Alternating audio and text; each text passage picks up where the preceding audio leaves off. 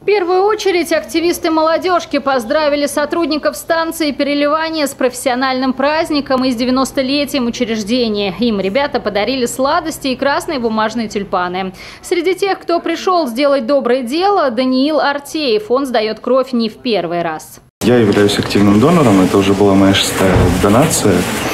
Э, я о донорстве узнал, когда мне было 17 лет, и, собственно говоря, ждал как раз своего дня рождения, и так совпало, что буквально через пару недель мы пошли уже сдавать кровь. И с тех пор я активно посещаю станцию. Донации совершили семь представителей молодежки ОНФ. Двое своей кровью поделились впервые. Сотрудники станции переливания отмечают, важно, чтобы сдача крови была регулярной, при том, что процедура эта совсем несложная. Главное требование – обязательное соблюдение специальной диеты. Диета обязательно начинается с соблюдения э, накануне с обеда. То есть исключаем жирное, жареное, а, молочные продукты, сыры.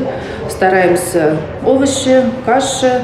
То есть строго ужин легкий, а, фрукты наши местные, то есть яблоки, груши. С полным списком требований диеты можно ознакомиться на сайте областной станции переливания крови www.yadonor33.ru. Здесь же можно узнать о графике работы учреждений и о том, кровь какой группы и резус-фактора сейчас необходима. Напомню, находятся региональные станции переливания крови по адресу Студенческая, 5.